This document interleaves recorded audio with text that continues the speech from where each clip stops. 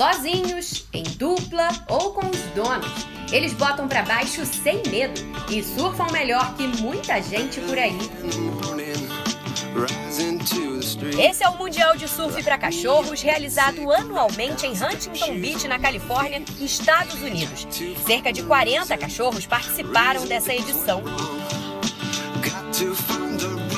O Brasil veio muito bem representado. O labrador carioca Bono veio buscar o título de pentacampeão. Parafina, vira-lata de Santos, no litoral paulista, também treinou pesado para estar aqui. Ele foi vice-campeão no ano passado e veio para tentar chegar ao lugar mais alto do pódio.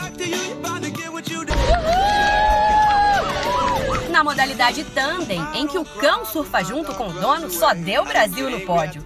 Com Maia em primeiro, Bono em segundo e em terceiro, o estiloso Parafina.